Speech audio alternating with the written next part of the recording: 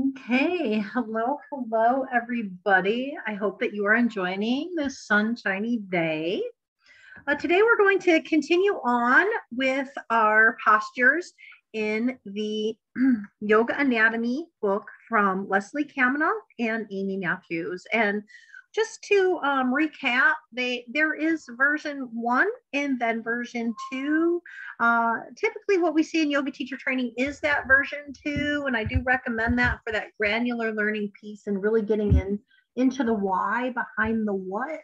Um, but I I personally like the first version, and that it talks more about what's happening within the asana and then while we do dip our toe into the why, it's less so and more about what are the primary movers when we're in the posture and what are the benefits um, in doing them. And that's that's kind of what this series is all about.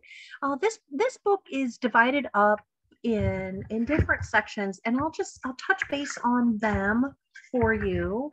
Uh, we talk here about dynamics of breathing, yoga in the spine, understanding the asana, but then breaks down to standing poses, sitting poses, kneeling poses, supine poses, prone poses, and arm support poses. And I really like this approach in that when you're putting together a class plan design for your creative classes in yoga teacher training, you know, we try and do that. We try and put in like four sequences together that are standing, four sequences together that are sitting.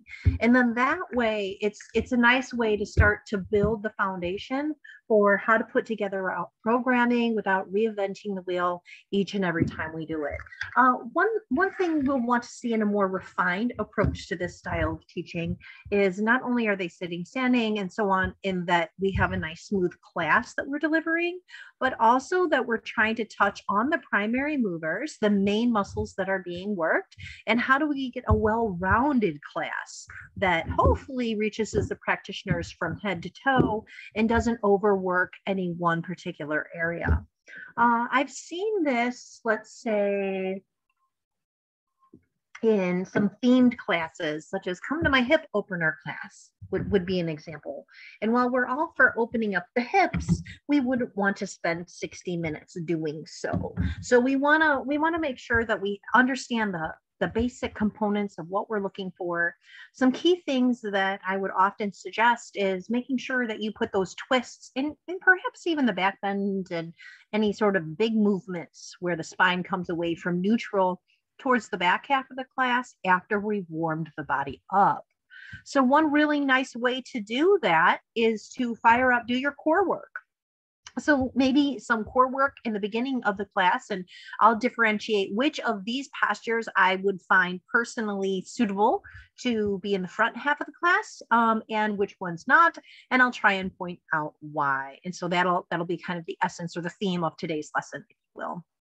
Uh, so featured here is the lovely Monica. Uh, she did a great job demonstrating the postures that are found in Kaminoff's book. Uh, lovely, lovely form, but by no means is it a standard of where you might personally want to go or where your students might personally want to go because we're all individuals in that way. So let's start off, shall we? If you're opening up to the first version, I'm on page 116. If not, you can go back to the uh, glossary or the table of contents and look up boat pose, and that's that's where we are. We see quite a bit of core work, obviously in boat pose. Warming up the core is a really nice way to uh, get fire up not only the primary movers but also loosen up and heat up the connective tissue so that the the movement of the muscle is encouraged and embraced by the connective tissue that surrounds it and is nice and warm and pliable. Depending on the modification that you take or offer, if the practitioner has chosen to bend their knees and drop their feet, then we may see less work in the primary movers in the back of the calf there. We might see less work there and that's okay. Maybe pick it up with some heel rises and, and mountain earlier in the class or something like that Uh, in here, we do see a nice lengthening not only of the front of the thigh, but also the back which is why I think is such an effective effective posture to try and shimmy in whenever possible. Um, in most cases, many of us um, do quite a bit of sitting in life, and I can't speak for everyone ever all the time, always never, but generally speaking, um, we have quad dominant where the front of the thighs is stronger and the back of the thighs, the hamstrings are shorter and could benefit from some lengthening and balancing of the muscular system that surrounds surrounds the thigh in general.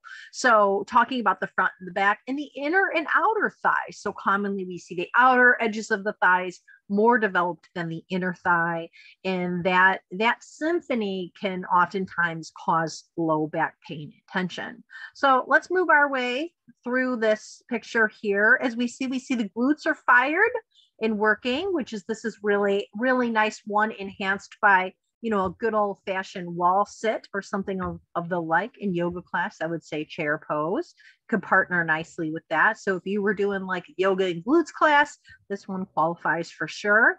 And it would even if the toes are down or if the toes are up. So again, assessing what is it that I'm trying to get out of this posture and why am I doing it? Why am I asking my practitioner to do it? What is it they need from it will denote the modifications offered and the qualities given.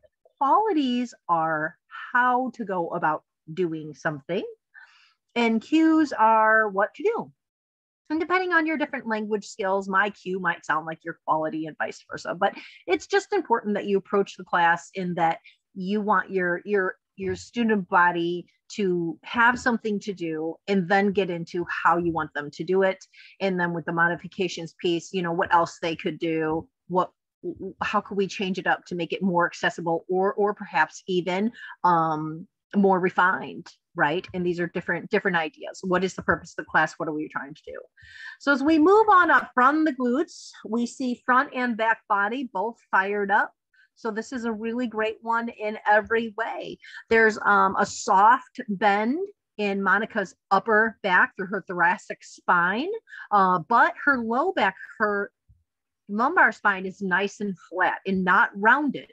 So if the low back was rounded, we would want to either drop the hands to the floor for support or bend the knees and invite either one or both feet to the ground, you know, depending on what works finding a lengthening up through the neck muscles as well is just so important and so healthy to strengthen those muscles, particularly to counteract some of the looking down or hunching forward we might do either via typing on a computer or a phone, walking around texting, things like this. It's really important to bring the, the body back to a neutral place but also to support the head that it only goes back as far as it can before the pose falls apart. So in this way, I've I've carried the story of boat from the toes through the hips up the spine to the head and then however far back the head can go without the thing falling apart is is how far back it would go so um, i would usually cue it in that order we have a lengthening of hamstrings meaning this is a really nice one for like a yoga for runners class or uh, if if folks do a lot of sitting and they have tight backs, tight lower lumbar spines, uh, usually the culprit is imbalanced muscles and shorter hamstrings. So we want to lengthen the hamstrings out and we want to strengthen it all up. So I hope that that is of benefit to you. As we move into chapter six, we're coming into kneeling poses. So if you're working on your created class, uh, which comes with four, four different sequences there in your workbook, in the upper right-hand corner, you would write kneeling poses and choose four kneeling poses. And I'll, I'll demonstrate some of them here for you. Uh, I think it's worthwhile to consider which ones are prone, face down and which ones are supine face up. So I'll give you a moment to open that up and then we'll go on to the kneeling poses.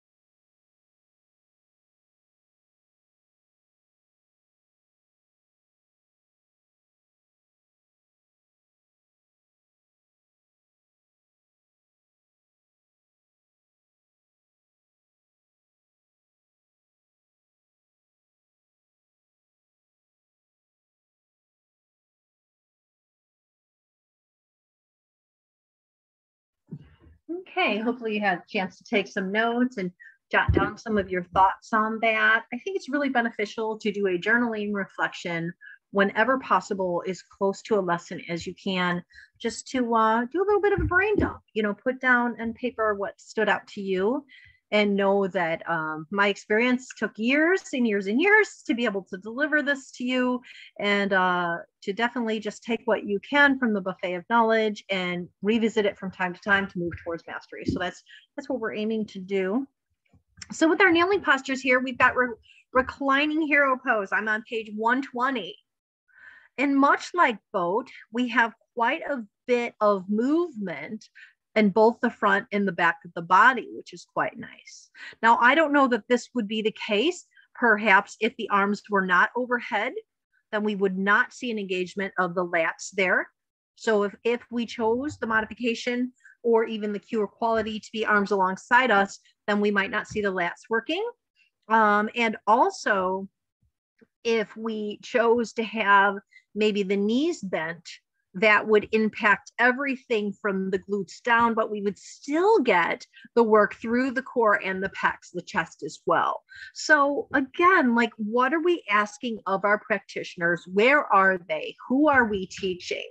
You know, if we were going to, let's say we were teaching um, a, um, a silver sneakers class, right, which, which starts at whatever age that starts at this this i don't believe would be appropriate. Or if, if we had a personal session a private session with somebody who had knee replacements you know I, I don't know that this would be what i would choose. So instead i would quite likely bring the soles of the feet to the mat and uh, the knees together and maybe have the emphasis be on imagine you have a squishy ball in between the thighs or perhaps pass out little squishy balls for in between the thighs, which I've done and is fun to have the toys and the props and things like that as they're available to you or your practitioner. Uh, a word on toys and props, less is more. Pick two or three for the class and call it good. You don't want to pull out your whole toy box. Um, it can be overwhelming and intimidating for your student and the instructor alike moving on to our muscles here, the main key thing one here I see is the stretch happening in the abs. And if we've chosen to bring the feet back as as monica has demonstrated then we're going to have a nice stretch in the front of the hamstring. In my opinion i don't know the benefits outweigh the risks on this one. And i think there's a number of ways that you could you could get the stretch from from the hips down another way maybe in a different part of your class. And uh and instead bring your focus to lengthening the core here and getting that nice pec stretch, bringing the arms overhead, grabbing in the lats and the psoas major as well. Uh, commonly, those psoas muscles can do quite quite a number on low back pain by tugging and pulling. And what we have is an attachment to the bowl of the pelvis. And the bowl of the pelvis, when pulled on or tugged, and, and as soon as it moves away, from being level or even between front and back and left and right can usually show up as uh, discomfort or even pain. So I would probably taking re- reclining hero, hero pose if I were to teach this in one of my classes at Edge in, in South Naperville. I would probably bend the knees and invite the feet to the mat. And then I would cue from hips up and then I would invite those who want to tuck the feet behind. I have that in their practice. Feel free to do so. Um, that being said, I definitely focus on all levels yoga and oftentimes my students will you know look to some of my instructors at edge that do teach um, a more seasoned class that offer refinement in postures such as these. And that's okay. If, if that's what your class is titled and the description is of and that is your um, is your student body, then by all means you would want to, to cue this fully. But just from my own perspective, uh, what you see in blue there is what's touching the floor. So the red is what's fired up, and the blue is what's touching the floor, what's making contact to the floor. This can go such a long way if you really studied this one before your class in telling them what it is you're seeking them to feel like what it is that you want them to to do and so one example might be we know that we're not asking that the low back meet the ground because it's not shaded blue there. And that we're really more looking for the hips and the shoulders and the arms and then the uh, the shins and the tops of the feet to make contact. So why don't you take a moment just to read over this page here, uh, write up a journal reflection, and we'll continue on in just a few moments. Moving on to the next posture.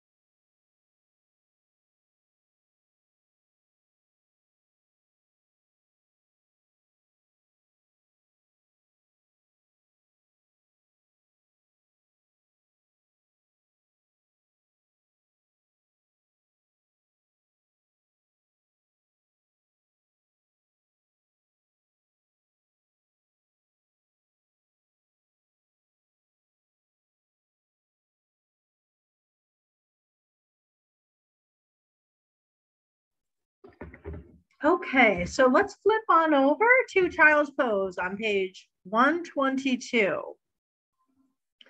Still classified as kneeling. Although I would take note that we are now prone face down and no longer supine face up. So we might have put together boat pose and reclined hero pose together and then back to boat pose and then maybe a forward fold and that would work. Um, but I wouldn't put child's pose in, in that same sequence because we have our, our practitioner flipping and flopping. For those of you that didn't know, featured on page 122, this is actually Amy. And they brought in an artist to draw out what was happening with the anatomy. So it's always kind of a fun fact to know, you know, who these pictures are. I just thought they were they were random bodies, but they're not. Uh, we're also see Leslie Kaminoff in here and a man named Jay. So with that, as we move on to child's pose, we might see the arms reaching forward. We might see a block set under the forehead. We might see the arms alongside us, as featured here, as Monica has done. And we might see this called something else. So in, in some um, lineages, we see this called seal.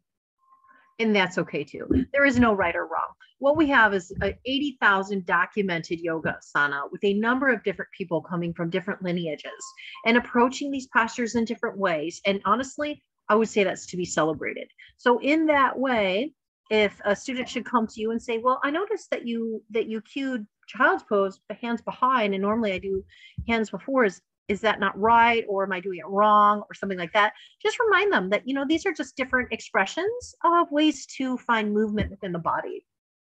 And, and i believe that that's the best gift that you can give a practitioner. So as you look at the book here again we have quite a bit of engagement. And what we really have here in child's pose is so nice is is is the rib cage here is fired up and a lengthening through those spinal extensors. And these guys hold the body upright all day long. And so giving them a chance to just rest and come forward with ease and allow gravity to assist, I think is such a beautiful gift. And for me, one of the reasons why child's pose feels so nice. Um, when taking a modification in this particular posture, we might see knees together, we might see knees apart, we might see hips down, we might see hips up. I personally prefer to have the forehead on the ground and then the knees and the hips can do whatever they need to do to have that happen. Now, that could be on the ground with a block or without a block.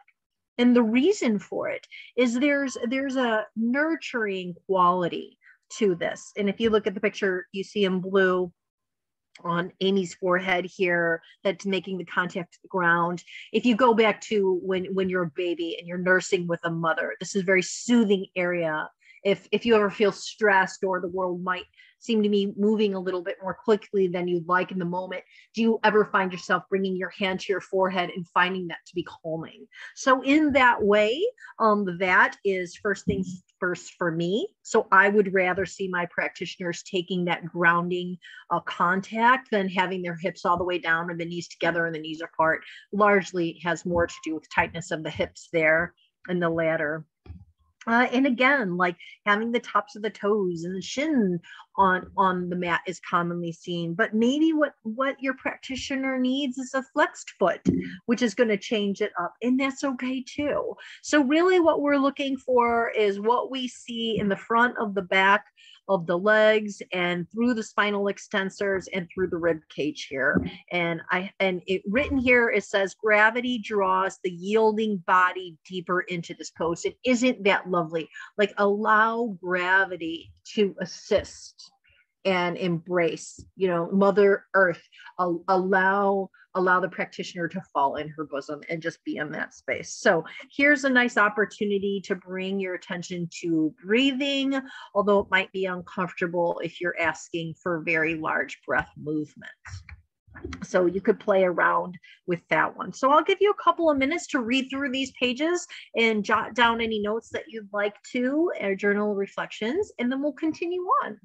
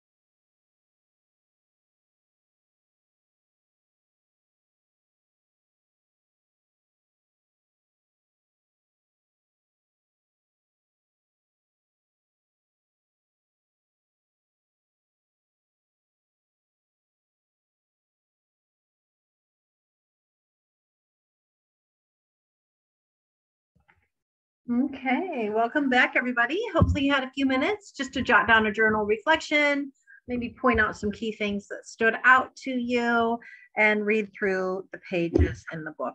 You know, this book, oftentimes, what we have in required reading, um, I know it, uh, my experience with with the number of courses that I've taken is we have all these books and we they arrive in the mail the first day or at the bookstore, hopefully the local bookstore and we, get so excited we go through it and then as we get deeper into our journey you know maybe the book starts to collect a little bit of dust. So this one though let that not happen to this book. Let this book be um, your guide your handbook the one that you carry with you and you refer to when putting together class plans or maybe even just choose a hero pose or a peak pose for your class that you just study a little further than you would the others and do that one a week by the end of the year you would have 52 of them under your belt and your your classes would reflect that experience. So i recommend that very very highly.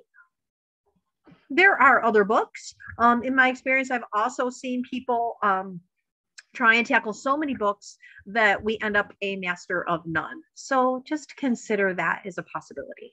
So moving on to Camel Pose, page 124, if in the first edition. Otherwise, head on over to your table of contents and look that one up. Uh, what we have here demonstrated, as Monica has done, is just a beautiful job, as is Amy, of the hips projecting forward enough that it's supporting the low back. And that's ultimately what we're really looking for. So it's not so much whether or not the hands do or don't touch the heels. It really is more can the hips be forward and we not have compression on the lumbar spine, but we do have engagement of the psoas major. So take a look at the picture here in the anatomy book just to observe that. What are we trying to work here? What are we trying to work here?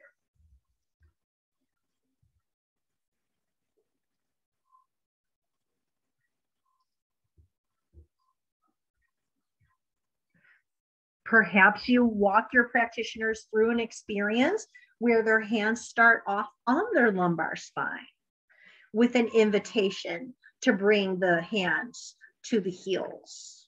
And maybe the toes are on the mat or maybe the feet are flexed, right? And so these are choices that the individual makes based on how they're feeling that day, what's right for them. And it might be different on Monday than it is Tuesday, right? And that that's okay uh, as as we look at the posture, what I think the the real win on this one is is this stretch that is experienced waist up. And that is why I would probably more readily bring the hands to the low back and stretch out that that that uh, the whole front body there, which is just so beautiful, and really even right to the apex of the lungs. So you know, this one could be nice to go say from a hero or sometimes called thunderbolt posture. Uh, and then come up into a camel pose and then come down and do a pranayama series of some breathing techniques and then maybe return to camel and then back down to the hero some more breathing techniques that could be a really beautiful sequence and then maybe on uh, on the um, end of it see a downward facing dog from that hero you know that that could be a really nice way to get practitioners you know in movement i would not recommend they hop out of bed and do the sequence because we still have a back bend here and when we have a back bend, we want to make sure that the body is nice and warm so that the connective tissue is nice and pliable and ready for the movement and less apt to have any injury. So keeping that in mind.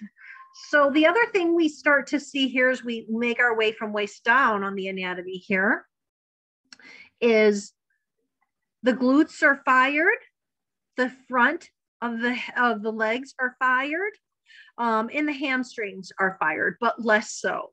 So in this way, we might we might want to um, we might want to have some more postures in your sequence that are dedicated to the lengthening of the hamstrings and the downward facing dog sequence would accomplish that. So that's something that you could really consider.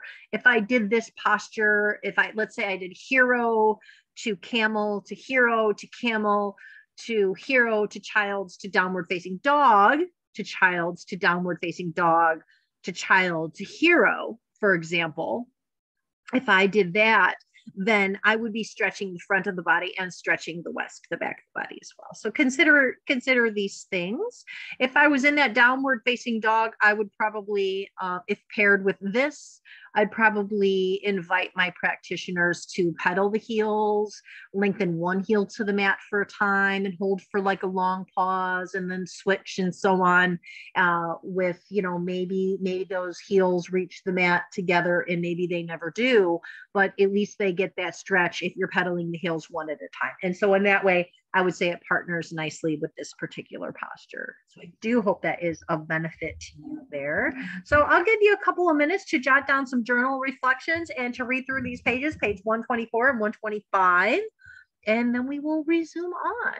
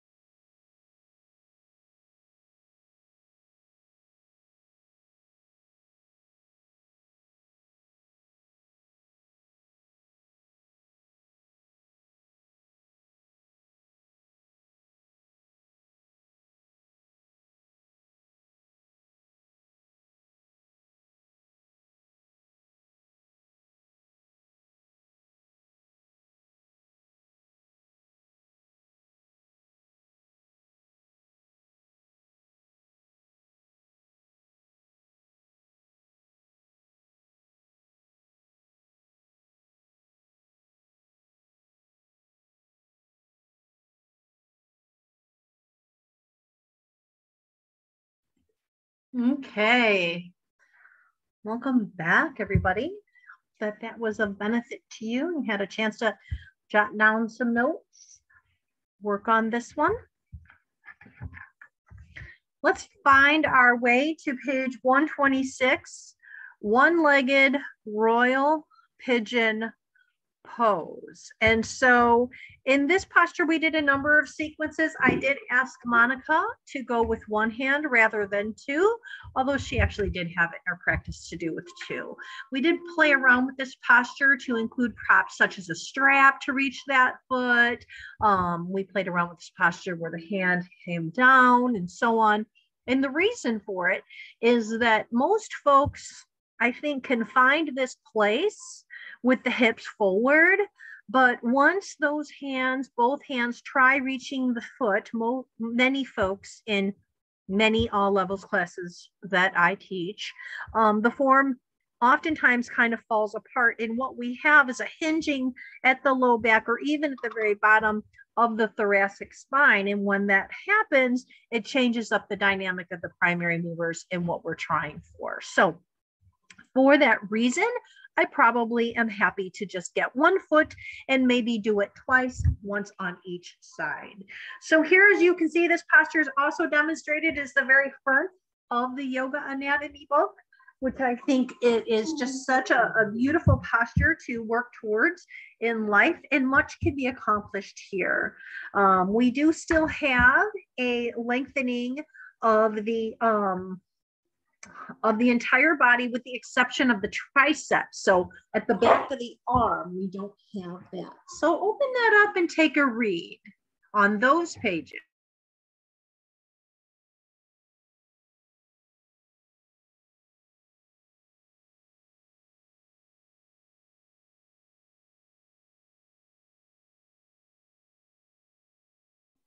We'll give about two minutes for you to read through these and then I'll continue on.